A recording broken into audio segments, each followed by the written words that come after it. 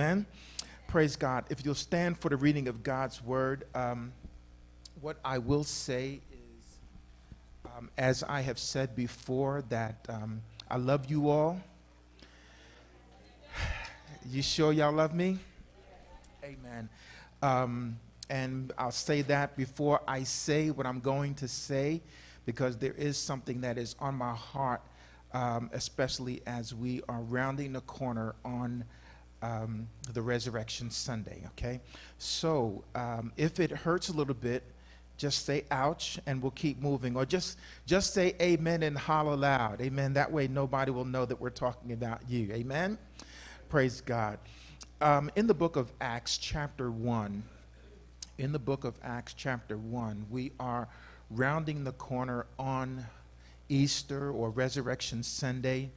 Um, I'm thankful for all of the words and the encouragement that we've gotten over the past few weeks.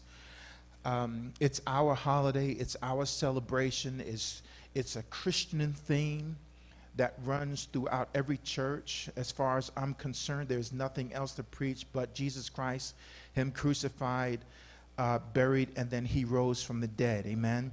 That's the greatest story ever told. And I don't care of all the other agendas that are out there, the thing that is most important to me um, and for our church is that we remember, we remember the cross, we remember what he died on the cross for, and we remember most importantly that he rose from the dead. Turn to neighbor and say, Neighbor, I'm a believer.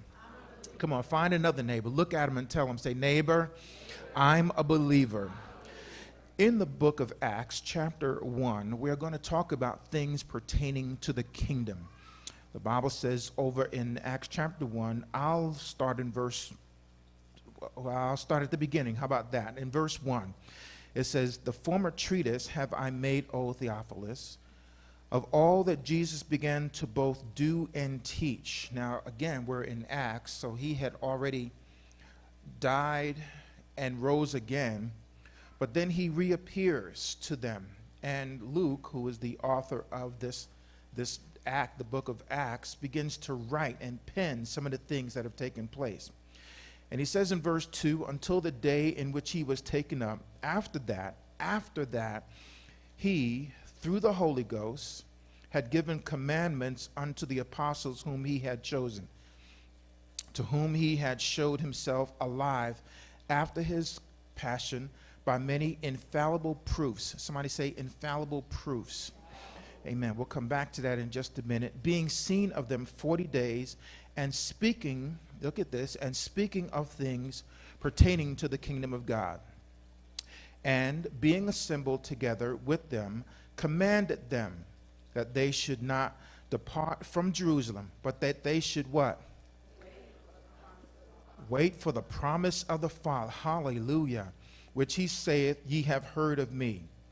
Verse 5 says, For John truly baptized with water, but ye shall be baptized with the Holy Ghost not many days hence. And when, and when they, therefore, were come together, they asked of him, saying, Lord, will you at this time again restore the kingdom to Israel? And he said unto them, It is not for you to know the times or the seasons which the Father hath put in his own power. Hallelujah. Verse 8. But ye shall receive what? And then after that, the Holy Ghost, which is come upon you, and ye shall be witnesses um, both unto me, both in Jerusalem and in Judea and in San Angelo and Samaria and into the uttermost parts of the earth. Amen. And he concludes with verse 9 and says, And when he had spoken these things, while they beheld, he was taken up in a cloud and a cloud received them out of their sight. God bless you. You may have your seats. There is so much in this particular passage of Scripture that it bears repeating again and again and again because it wasn't just for them, it is for us today. The background on this is, of course, that it's about 40 days after his resurrection, and now it's time for his departure. Jesus begins to give his uh, apostles, or flip, if you'll flip back to verse 2, it says, Those who he had given by way of the Holy Ghost, given commandments unto the apostles whom he chosen. And so this scripture tells us that many things, go back, many things that after this, by way of the Holy Ghost, somebody say Holy Ghost. Okay, some people like to say Holy Spirit because we don't want to spook anybody. So you can say Holy Spirit or Holy Ghost. Either way, same, same. He said he had given by way of the Holy Ghost, he had given them commandments, commandments unto the apostles whom he had chosen. So this was going to be a select group of people who he was going to surround himself by. Verse 3 says, that he is going to give himself, show himself alive. Okay? In other words, handle me, see me, put your, put your finger in my hand, put your hand in my side. Uh, I'm going to eat with you, I'm going to talk with you by many infallible proofs. The Greek word on that is tekmiera, which means pure and clear indications, undeniable truths. Last week, I told you about the O.J. Simpson case. If the hands if it, if it doesn't fit, you must acquit. Remember that? And so um, these were infallible proofs beyond the shadow of any doubt, amen, that Jesus actually is who he said he would be. Amen.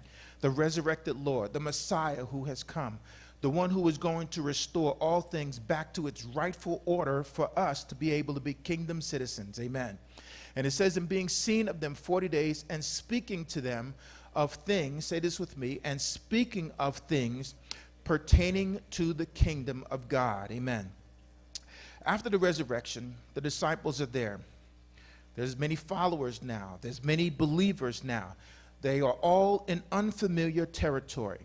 This was going to be a time where there would be no more sermons, no more parables, no more miracles, no more challenges from the Pharisees. Y'all with me? There's nothing else to prove. There's no more cross. Matter of fact, I took it down. I prayed. Amen. I came in here, took the cross down. It was right here with all of your issues, took them down, prayed over them, and buried. They're all gone. Turn to neighbor and say, Neighbor, they're gone.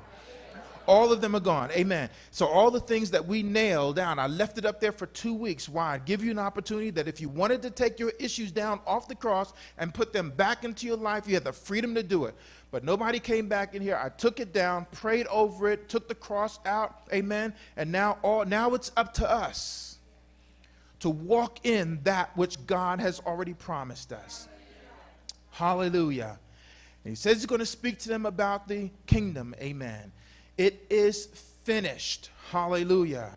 And now it is time for us to do and to teach that which was shown unto them by our Lord and Savior Jesus Christ. Don't you wish you were there? The doctrines had already been taught. Kingdom principles had already been taught. The miracles, look, no more miracles from Jesus. He's gone. But the best ministers, the best believers are those who do and teach those whose lives are a, a constant sermon that even when we walk in HEB, we are a living testimony and a witness of what we believe. Hallelujah. The infallible proof, whether or not that cross had the ability to hold his life or Jesus, would you, is life greater than death? And the infallible proof is sitting right in front of you. Hallelujah. He walked with them, talked with them, ate with them, showed them, taught them, gave them day, walked with the men from Emmaus, walked, gave them commissions, and then he sits them down. Are you ready? He sits them down in a private setting and talks to them about things pertaining to the kingdom. The Bible is almost not fair because it does not express exactly what he told them. All he did was tell them you wait. Mm. You wait. Go back to Jerusalem and wait for the promise of the Father over in verse 4. You've heard me talk about it. He says, and the example that I gave you is that John is going to baptize in water, but I'm coming to baptize you with the Holy Ghost not many days hence. You just have to wait.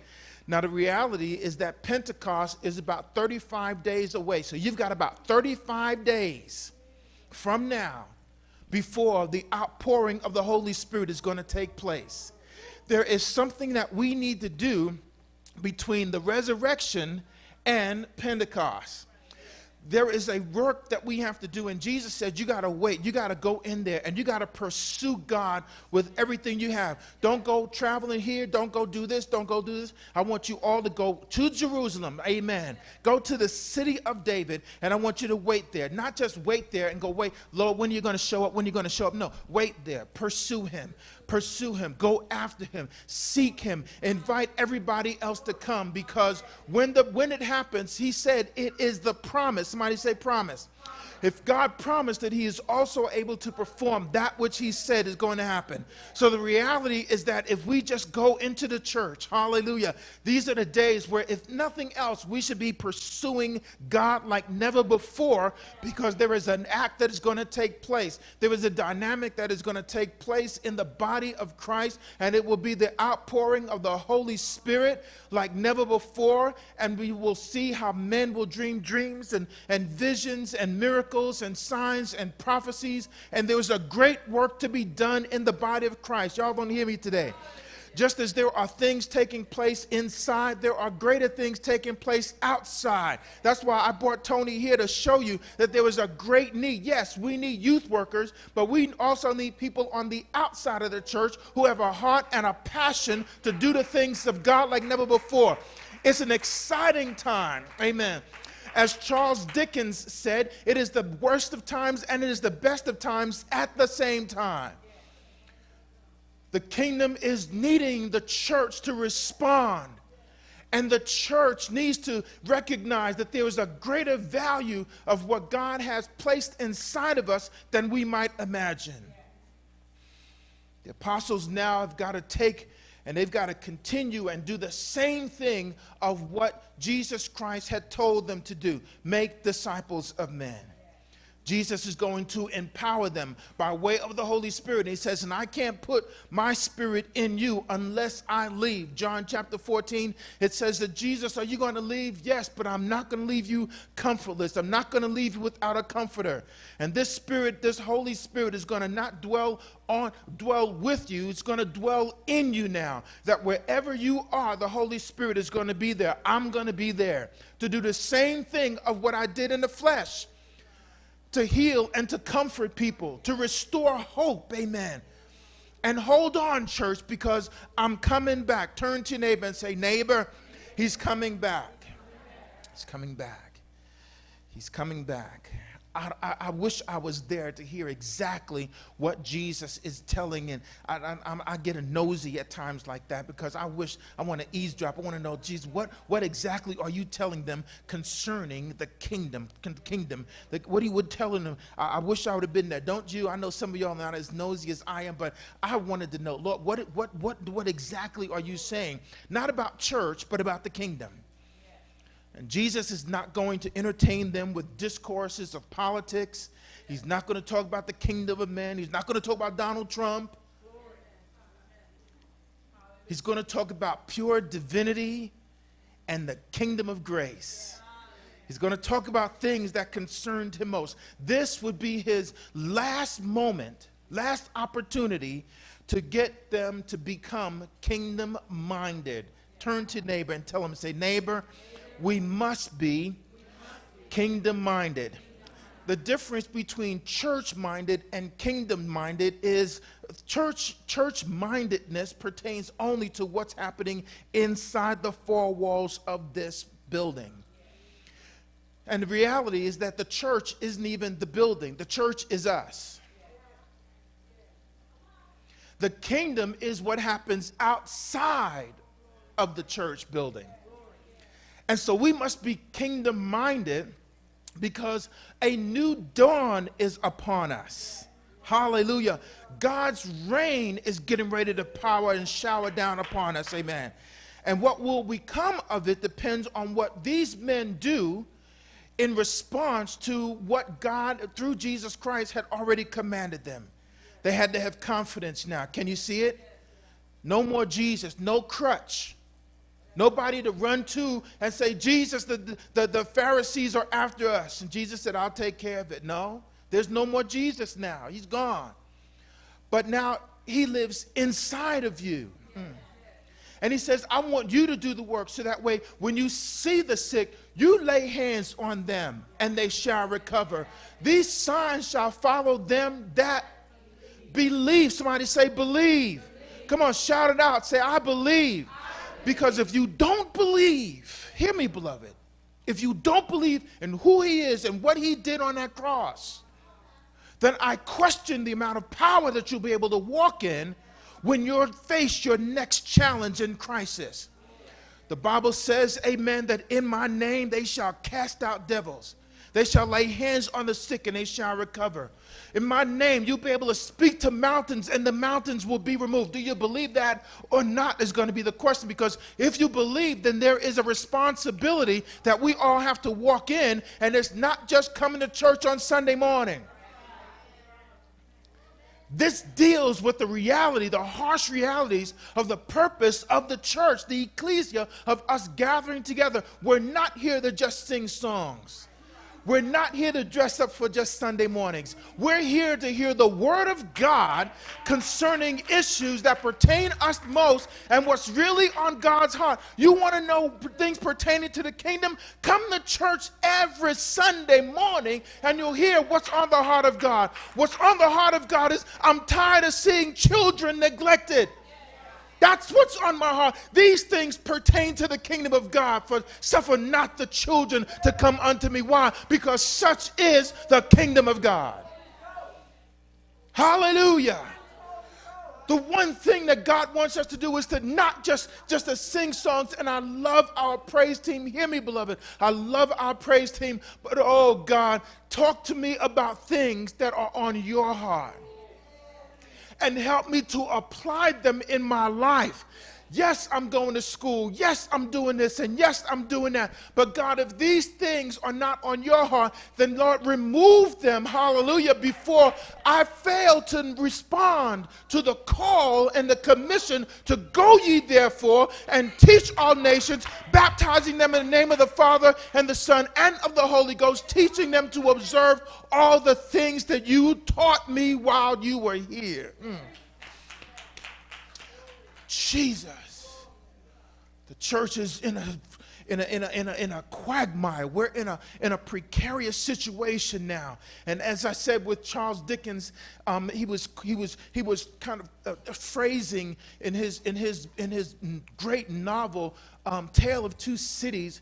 It was dealing with the French and the British Revolution that was taking place. And he starts out his great manuscript. These were the best of times and these were the worst of times at the same time.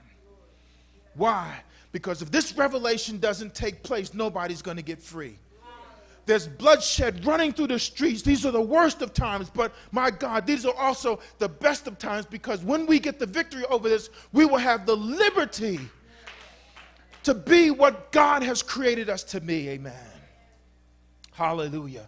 They had to have confidence. Somebody say confidence. Confidence, amen, because it's one thing to hear what he says. Did you understand these things? Yea, Lord, I understand you lied. They don't understand all of these things, amen. But now it's a matter of walking out what you have heard. They had to have confidence, amen. They had to be commissioned through the word of God, amen. And then there had to be a confirmation by way of the Holy Spirit. Confirmation. We need to know that the Holy Spirit is among us. Are you with me today? And the making of kingdom citizens is not is no easy task. Ask any pastor and they will tell you that in order to get your church to transform to be kingdom minded, things pertaining to the kingdom, you have to change the mindset of the people. You got to change their language and you got to change their talk. You got to change. When you change their talk, you change the behavior. And when you change the behavior, you change the character. I'm going to say that again. In order to be kingdom minded, you got to have a renewed mind. Hallelujah.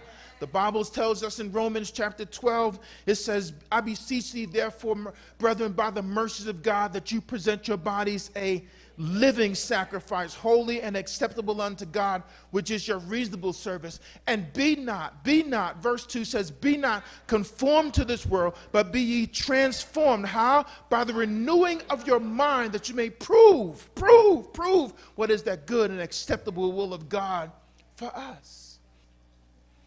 I don't do this just for me, I do this for you.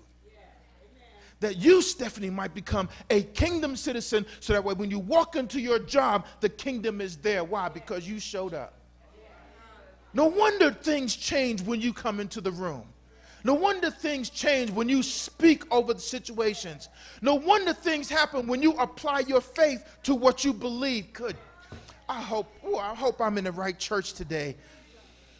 Bible tells us over in Romans chapter 14, it says, For the kingdom of God is not meat and drink, but it is righteousness, peace, and joy in the Holy Ghost. For he that he that in these things serve Christ is acceptable to God and approved of men. While Jesus would try to explain the kingdom, he would have to, while he was here, he had to use parables. He had to, why? Because the kingdom dynamics were so powerful and so profound that he would, he would try to say, oh, uh, okay, let me explain to you. Um, the kingdom of heaven is like a man who took everything that he had took everything that he had, sold it, so that way he could have one pearl. And for those of us who are church minded or worldly minded, we go, that makes absolutely no sense. I'm not doing that. But, ah, but the man who saw the pearl said, ah, this is worth everything. So I'm selling everything out. What he was trying to do is to tell us that what would it profit the man to gain the whole world and lose his soul? And so that would be way over our head, kind of like if I'm talking computers to Jeff or one of the others that are in here, it's way over my head. I don't know what you're talking about. Break that thing into what Pastor Gwen calls the lowest common denominator. Explain to us the kingdom, Lord. Okay, well, the kingdom of heaven is like, let me see, it's like a man, a man sowing seed into the field and, and there was some that fell by the wayside, and some fell on stony ground, and some fell on good ground. What, what, what, what are you talking about? Okay, the word of, it's like this. A man sows the word of God into the heart of people. And some people are, their hearts are so stony and hard, they can't receive the word of God. And, and for some, their hearts are so, their, their, their, their soil is, is, is so narrow that they get excited, woohoo, hallelujah, about the word. But as soon as they walk out the church, the enemy comes in and steals that word right out of them. Why? Because they are not planted because there's care, y'all don't want to say amen to me, but because there are cares and issues of life that suck out the word of God. I can hear the word of God of faith while I'm in this building, amen, and while I'm in here. But as soon as I go out, the, the cares of this world kick in. It reminds me of my realities So I have to just say, okay, Lord, I hear what you're saying, preacher. I hear what you're saying, pastor. That's good for you, but my reality is that I don't know if this is going to work. But my preaching to you and my sharing with you is not just for while we are in here. I want to make you a believer that when you go on your job, when you go in your classroom, when you face that next crisis situation, Tony, when you go and you face situations, I need you to be a believer right then and there. When you are in the hospital, when you're, where's Deacon Tuggles at? When they say your granddad has lost his life, you still got to be a believer.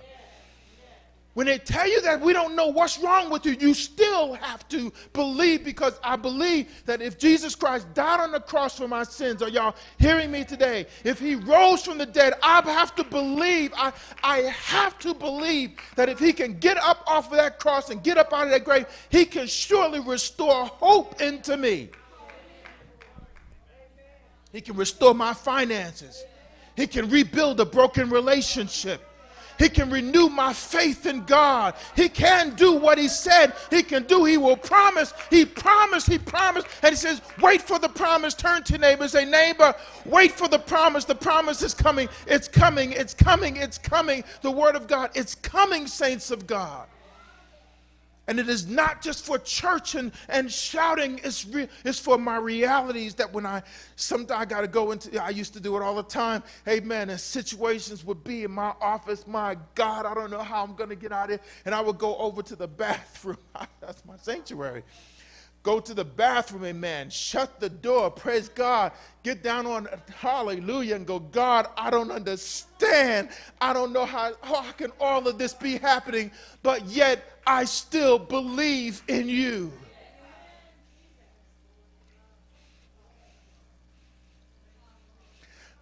I'm sorry if this is not entertaining for you. I'm sorry that this is not going to make you shout. But what I have to do is present, hallelujah, the gospel to you to let you know that God is real. And we serve a mighty God, hallelujah, a God who can heal, a God who can forgive, a God who can restore, a God who can heal the brokenhearted, bind up their wounds. The chastisement of our peace is what I told you. It was upon him the things that you worry about. Y'all don't have to say amen to me, but there is something we worry about. We stay up late at night worrying, stressing over. God says, I've taken every last one of those cares and I've nailed them to the cross. Why? So that way you can have a peaceful sleep at night. Along with your sicknesses and disease, God took the chastisement of your peace. Bam! Nailed it to the cross. That one was for me.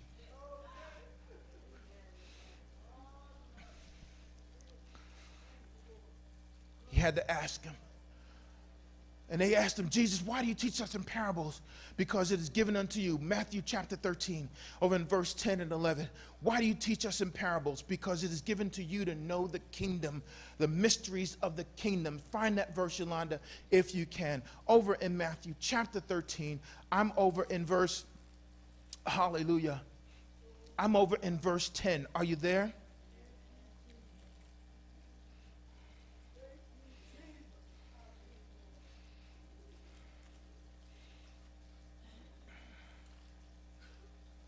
Why do you speak to us in parables? And he answered and said unto them, verse 11, because it is given unto you. Somebody say you, point to neighbor and tell him, say, neighbor, it's given to you. It's given to you. It's Jesus. It's given to you. It dropped in my spirit early this morning. It's given to you. Not for everybody, Tam. It's given to you. Why? Because we're in a kingdom place where a kingdom word from the king is given to kingdom citizens. And shh, this, this, this is for you. Turn to this is for you. Shh, this is for you. It's like what I do with my. It's like what I do with my grandson Nick. I say, Judah, come here, come here, come here. And what's what what pop? Here, I want to give you. Shh, this this is for you. Don't tell anybody that I gave you a little something, something. You take this and you put this in your pocket. And all of a sudden, by the time I give it to him, he came to me one way. But by the time I what whatever I have given him, he walks away a little bit different because now he's got something that he didn't have before.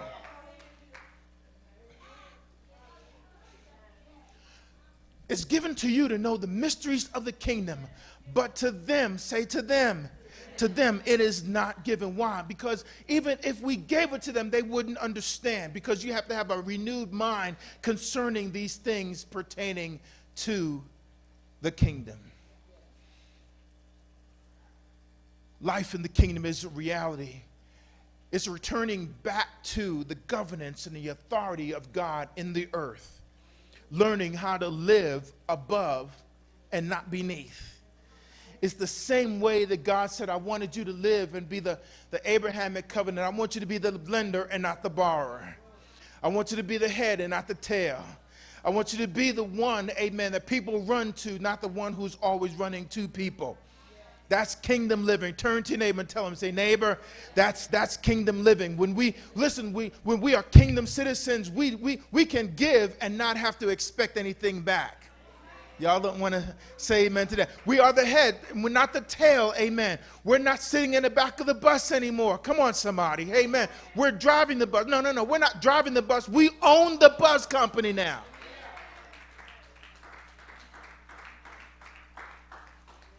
That's kingdom living. Hallelujah. And the king's decree is unchangeable. So when God says it, that settles the matter. And Jesus came back to show them these things. He said, I want you to preach the gospel. I want you to be witnesses. Turn to neighbor and say, Neighbor, Come on, look at a no, look at a faith-filled neighbor and tell him, say, neighbor, we are the witnesses. We are the witnesses. We are the we are the Are there any witnesses in here? Is there anybody who can testify, hallelujah, that you know that the Lord is good? You know that the Lord. See, we all are witnesses. Am I telling the truth about it? Is there anybody in here who knows God to be a healer? Listen, Mother Callum is here, hallelujah, where the doctor said this and that and this and that, hallelujah. I want you to see that I'm a witness to that she's in the house despite what doctors might say. I said, despite what doctors said. Y'all don't want to say, man, y'all are so sedity. Y'all, y'all are so educated and so eloquent and, and, and, and, and snooty.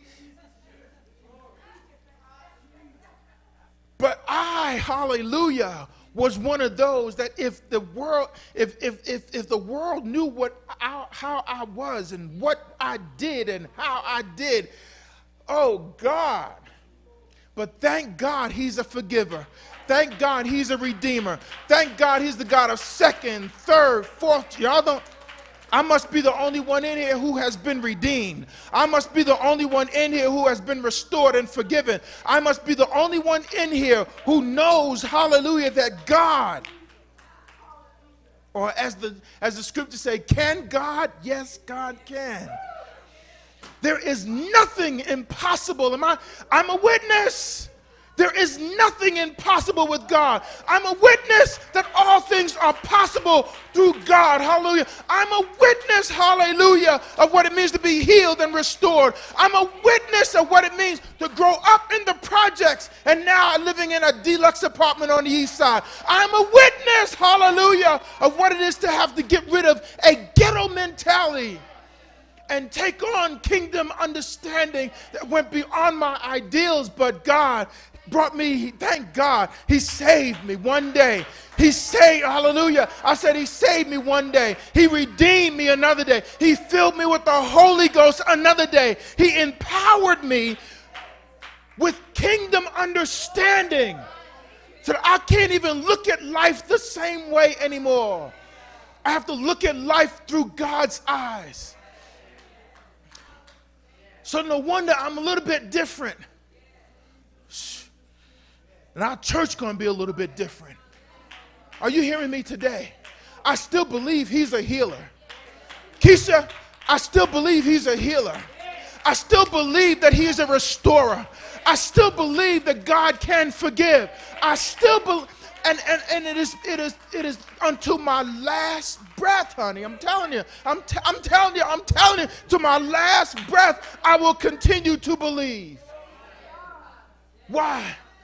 I have to believe because there are just some things in life I don't understand. Are y'all understand? Are y'all hearing me? I have to believe Victoria because there are some things in life I don't understand.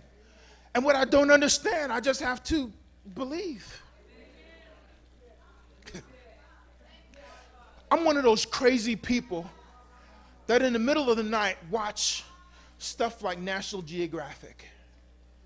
And there was an episode, D, and it said, The Origin of God. Ha! I got to see that. What scientists in their right mind think that they have a understanding of God? So they go through and they're showing you all of this math and all of this science and all of this research and all of these satellite data and all of these awesome things that are way beyond my idea. And, and, and I kept listening for the word um, uh, in theory, in theory, in theory. I said, well, where's the facts? If I'm going to believe, I need some facts. And then I turned to the Bible. Genesis 1. In the beginning, God. That's all I need to read. That's it. I don't need to read anything more. Why? Because I've realized that in spite of all of the facts, what I believe holds me to that cross. It is our purpose for the it is our purpose for being here today. I'm not trying to make you laugh or, or, or to, or to in, uh, uh, uh, impress you with my eloquent vocabulary or the essence of my effervescence of my personality. I'm just here to inspire you to believe. When you face a tough situation, are you hearing me today? When you face a situation that is seemingly hopeless, not that you've ever been there before, when you face a situation where you go, oh God, I don't know how all this is going to happen. I don't know how all this is going to unfold. I don't know where the answer, I don't know where the resources. God, the doctors are saying one thing, the bankers are saying another. And my God, I don't know what to do. But I'm just telling you that when you face those moments, when you face those moments, that's the time where I want this message to kick in. Mm. Hallelujah. And say, Sir, I hear what you're saying, but yet I believe.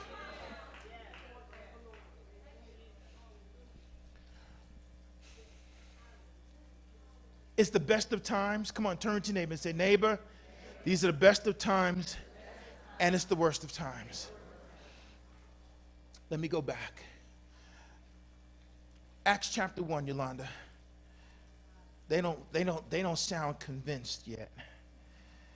Hallelujah. I'm here to convince you to be a believer. Any believers in here yet?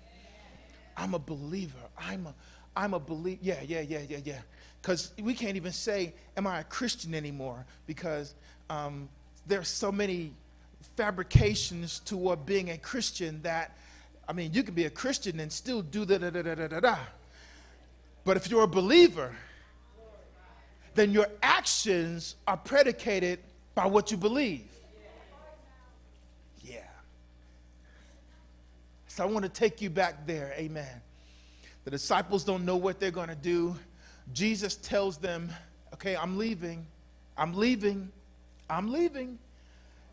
And he goes up to them, amen. He tells them, I need you to go to wait in Jerusalem.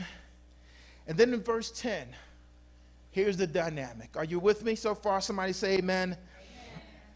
It says, and while they were there, can you imagine them? the Bible says, and while they looked steadfast, well, verse 9, verse 9, and when he had spoken these things, while they, while they beheld, he was taken up, and a cloud received him up out of their sight. Wow. And verse 10, and while they looked steadfastly toward heaven, he went up, and behold, two men stood by them in white apparel. Verse 11 which also said, Ye men of Galilee. Why, here's the question Why stand ye here gazing up into heaven? The same Jesus, which is taken up from you into heaven, here we go, shall also shall come in like manner as ye have seen him go up into heaven. Okay, so Jesus gives them the examples. I'm picking on Pastor Grant. Okay, here's what I need you to do. I'm giving you a commandment. I'm telling you what you need to do. I'm leaving, but I'm not going to leave you comfortless. I'm going to send the comforter to you. He's going to comfort you. He's going to fill you and empower you to do the things that I commanded you to do. Got it? Okay, so don't travel, don't go all over, and don't get distracted with all of these other things. I need you to go to this, I need you to go to church. Uh-oh, hear that silence? I need you to go to church for the next 40 days. Oh, come on, somebody. I, are there any old school Pentecostal folk in here who know what it's like to have revival and what it's like to go to church day in and day out and day in and day out? Y'all don't want to say amen to me? And I need you to go to church for 40 days, 50 days, every day, waiting for the promise. Come on, somebody.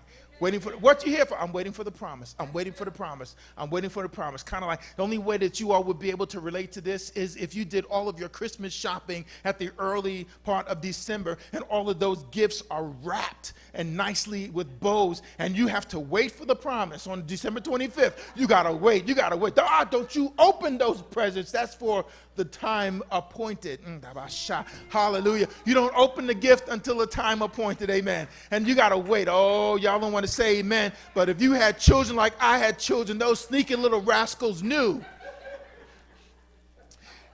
I, found, I figured it out. They knew how to manipulate with razor blades to slice open the tape. Y'all don't. Y'all, y'all don't know, amen. Y'all did it yourselves, is that it? Amen. And you and you took the and you knew how to lay it right back so you can peek in to see what you have, but no, you gotta wait for the promise. Pastor Gwen is the enforcer. Nobody opens the gift. Come on. What, are we? We're waiting. And so, JD, what they would do is wait till December 24th, 11:59 and 30, 29, 28, 20, 20. Y'all get the picture. You wait for the promise. And now, Jesus says, I'm leaving. And all of a sudden, a cloud comes. Can you imagine?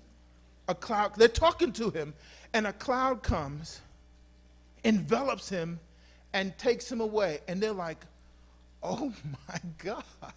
He's, here, we're in West Texas. Never seen anything like that before. He's gone. Up in the clouds, gone, dissipated, gone. Gone. You'll never see him like that again.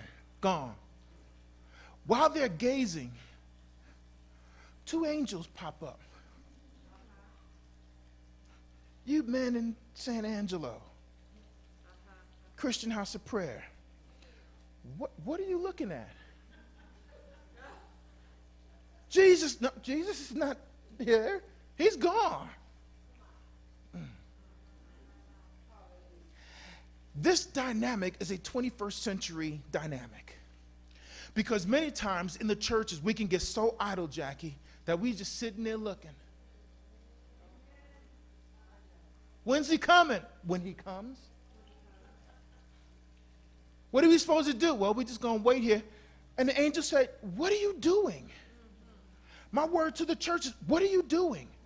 Don't wait. Don't sit here idling, looking, wondering when and how. Get busy. Occupy till he comes back. Do what he told you to do when he was with you. Do what? Make witnesses and disciples and go tell everybody, go tell everybody, go tell everybody that Jesus has gone. Hallelujah. He's rose and now he's coming back. But while we're there, we've got a work to do. Turn to neighbor and say, neighbor, we've got a work to do. Come on, find, five, five somebody and tell them, say, neighbor, we got a work to do. We got a, we got a work to do. Find, no, y'all don't want to high five anybody. Okay, all right. I get it.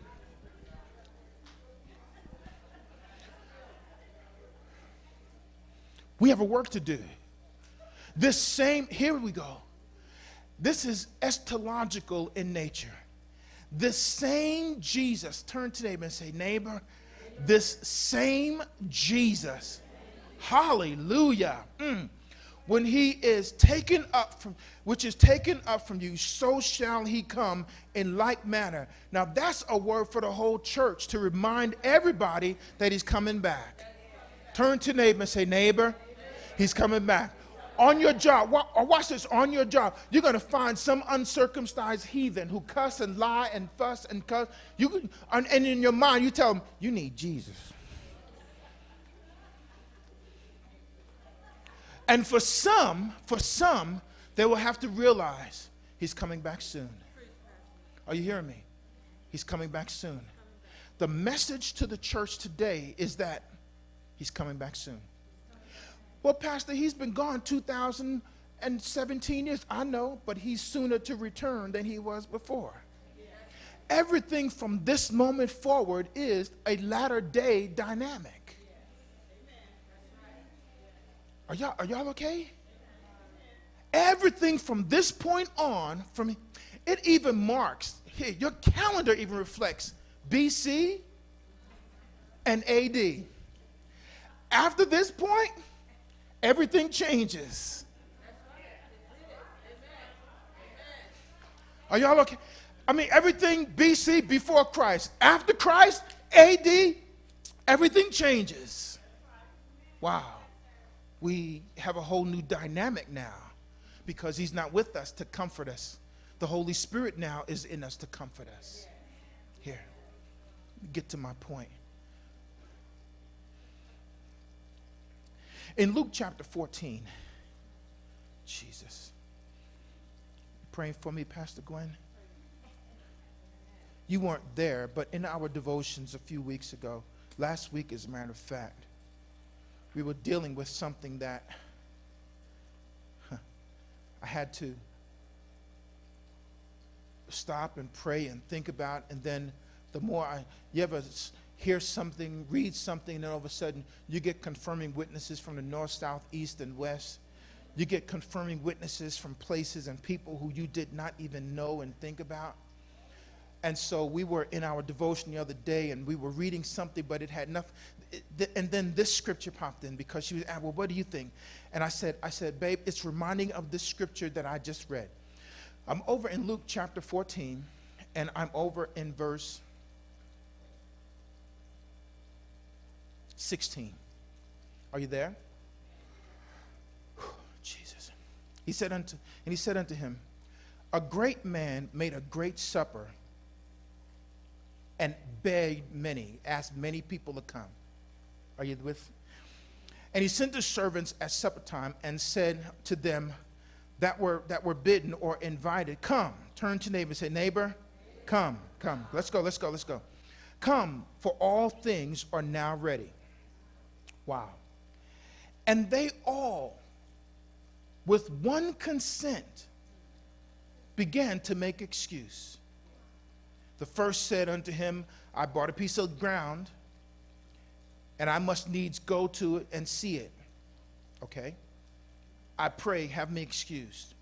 Another said, I have bought a five yoke of oxen. I pray, I must prove them. I pray thee, have me excused. And another said, I have married a wife. Well, he has no choice. He says, Therefore, I, can, I cannot come. So that great servant came, assuming that servant came, and showed his Lord these things. Then the master of the house, being angry, with his said to his servants, Go out into the streets. We got something to do. Go out into the streets and the lanes of the city and bring in them hither poor, maimed, halt, and blind. We've got something to do. Are you hearing me? The servant said, Lord, it is done. We went out and we did as you have commanded, yet there is still room. We still have a, a section right in here that still needs people to be filled in. Amen? And the Lord said unto the servant, Go out into the highways and the hedges, go under that bridge near McDonald's. All right? And compel them, compel them to come in that my house may be filled. What? See, in sonship, we teach about repentance from dead works. Where those new sonship students at? Did Pastor Gwen teach you all repentance of dead works? And what's a dead work? A dead work is anything that causes a person to depart from the finished work of Jesus Christ. This could be seemingly good things these good things have too many O's in it. They take a person's eyes off of the work at Calvary and the high expectation of his return. It can be school, it can be pursuit of career, it could be engaging in sports, it could be music, you, you, you name it, it could be anything. But if it takes your eyes off of the finished work of Jesus, and his imminent return, it's a dead work. Yeah, I expected that silence. Because now it's getting closer to home. When I was in grad school, I realized that even though it was a worthwhile endeavor, I could not neglect God in what I was doing. Are you hearing me? when I went to work, even when I was in the military and I went to work, I still kept God as part of my opportunity to pursue excellence in everything that I did. When I worked in corporate America, I would pray over my staff and my supervisors to make sure that we had a harmonious balance and that they loved their manager. They would do, they would do anything for me. Hallelujah.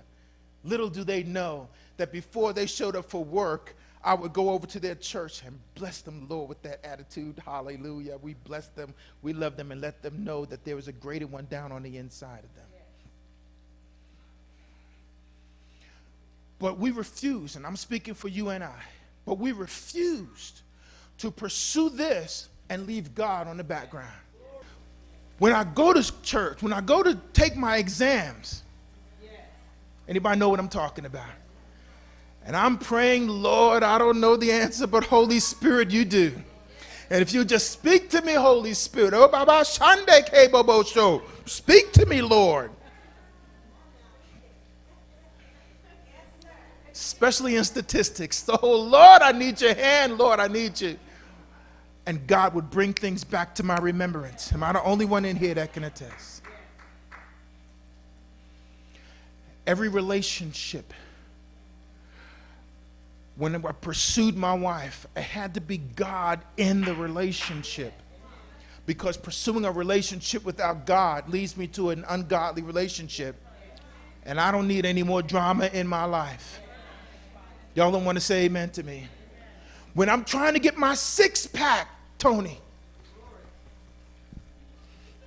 And I can't lift the weights. Lord Jesus, be the strength uh, of my life. Have to. Because my life aspirations and my love toward God are inextricably linked. I can't pursue this and go, I'm not going to Bible study. I'm not going to church. I'm not going to give. I'm not going to serve because I've got this. And please, Pastor, have me excused because I have. And see, and all of these are good things. Here, go back, go back. And what you'll see is that, man, he had, he had land that he bought. Are you with me? He had land bought. And these are seemingly prosperous things.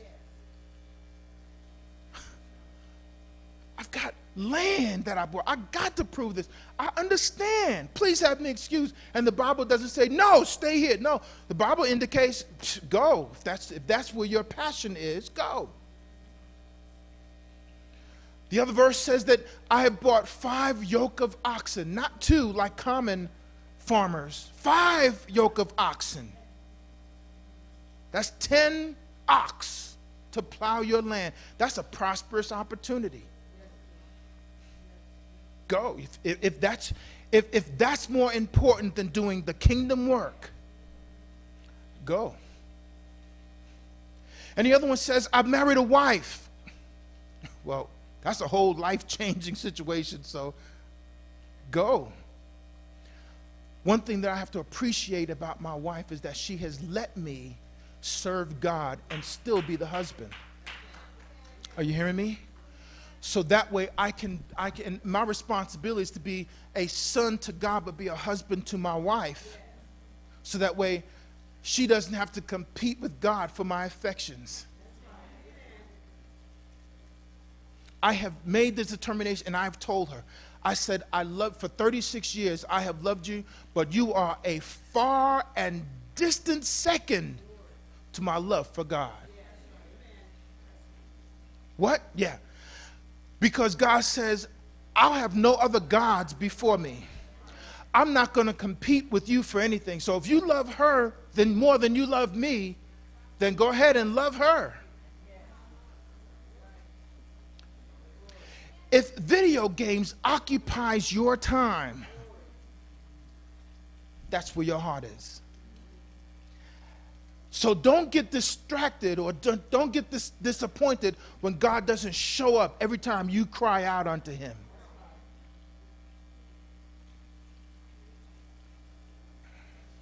I'm, I have an excuse. God is in these days saying, you know what? No more excuses, saints. Are you hearing me today? Here, I'm gonna give you this last one, and then I'm gonna let you go. Y'all are getting y'all are getting upset with me. I can I can feel it. Somebody shout Jesus in the house. Jesus. Hallelujah. I feel that. Praise God. In 1 Timothy chapter 4, and then I'm gonna leave you alone. Amen. Chapter 4. just going to borrow just five minutes of your time.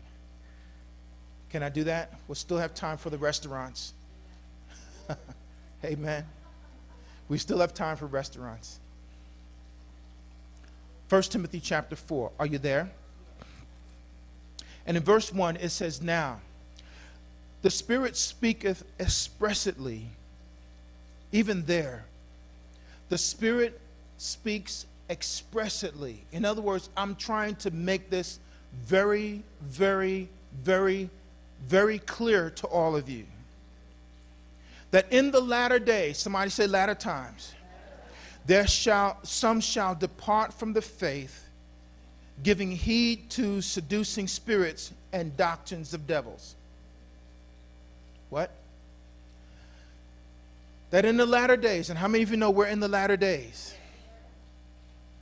Our commission in these latter days is to have the same Spirit of God, but somehow or another, Paul writes to Timothy that I'm speaking express here. See, can you find this in the message version? And, and let's, let's have a little fun with the more contemporary vernacular. Let's see. The Spirit, there it is. The Spirit makes it clear that as time goes on, some are going to give up on the faith and chase after demonic illusions put forth by professional liars. Go back to King James. They didn't like that either. Expressly, that in the latter days some shall depart from the faith. I believe, um, where my sonship students at, amen? Um, did Pastor Gwen teach you all about syntax yet? She did? Not yet? Because y'all are still Gilgal. Okay, not yet. Okay. So so I believe that that the, the, the, the syntax of it is is in the right order. In other words, in the latter days, Shumdal shall depart from the faith, giving heed to seducing spirits and doctrines of devil. You would think that the seducing spirits would come first and then cause people to depart from the faith. But Paul doesn't write it like that. Paul writes it and says that some have departed from the faith, and then the seducing spirits kick in. Everybody see that? There's a unique dynamic that takes place because go back, I'm not going to deviate from that verse right there. We're going to park right here. when the seduction takes place, I was talking to a young man, and he was so intrigued with the um, NFL um, draft. His hope was that this young 20 year old was going to change the whole dynamic of the impending team. And he's excited over the fact that one kid who has yet to be proven is going to be paid a whole lot of money with the hope and the expectation that he was going to bring this team to beat the New England Patriots. Are you kidding me? Come on, really? Really? And I listened. I listened. And his heart and his passion was that everything. I don't know what's going on. Hallelujah. Boy, that devil is mad, ain't he? Is that it?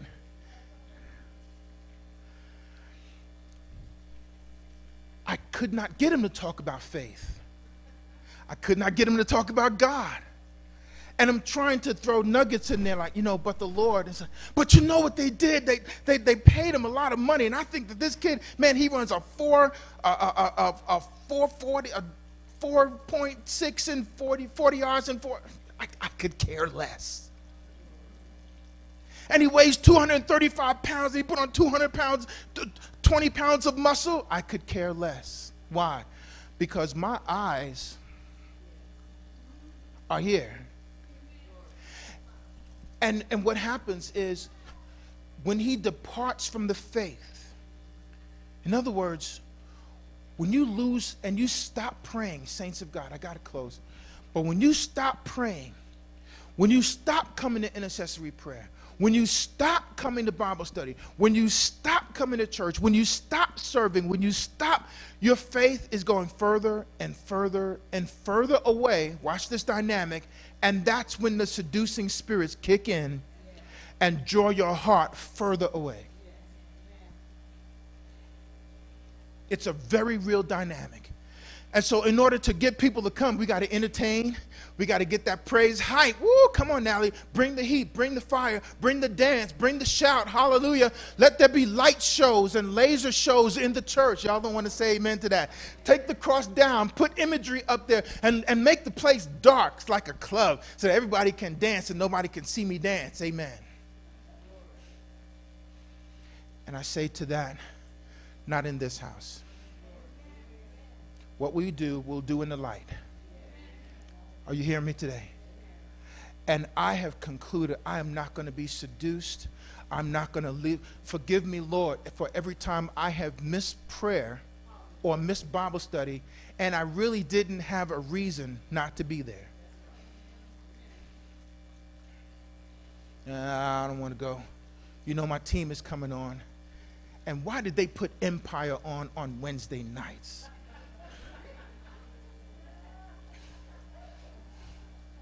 Don't they know?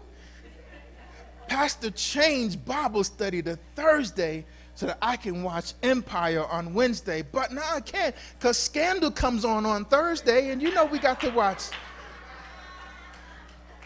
We got to watch Scandal. I mean, we, we have to see what Olivia Pope is going to do. Certainly, that's more important than what God has to say Go ahead and laugh. Hallelujah. We got to preach holiness. We got to be holy. Why? Because God is holy. We got to tell people about salvation. Are you hearing me today? We got to we got to make sure that we don't take we don't give into the seducing spirits. One time it ripped it, it tore me up because God was calling me to a prayer and to meditate on his word at a moment when one of my favorite teams was on TV. That's warfare. Y'all gonna have to say amen, but that was warfare. In my mind, I would love to pray hallelujah, but please, Lord, let Kawhi score 22, Lord Jesus. Bless him, Lord. Bless him. You're talking to God about Kawhi Leonard. Really? I'm, can I, am I being too transparent? Are y'all okay? And I said, with that, Lord, I really need to embrace you. In the name of Jesus, church, let's not allow these things to take place. Let's follow the Great Commission of what He has declared for us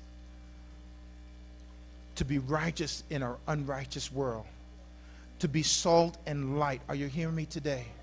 To be salt and light in this and have the distinction to care about things that are outside of our own realm here in these four walls and to care for those who are outside. Amen. And so I pray. I pray for you, church, that you would let he who have an ear, let him hear what the Spirit of God is saying to the church. He's talking to each one of us, your fulfilled purpose. Your God, He didn't save you by accident. He saved you because He has a purpose and an assignment for your life.